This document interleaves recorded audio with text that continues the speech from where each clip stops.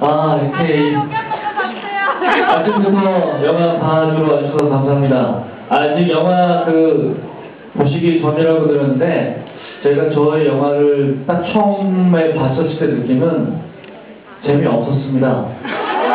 근데 두 번째 보니까 정말 재밌더니 세 번째 보니까 아주 한가를 하기 때문에 여러분들도 아 오늘 혹시 한 번 보신 분 있다면 두 번, 세 번 보셔서 저랑 같은 느낌 한번 받아보시기 바랍니다.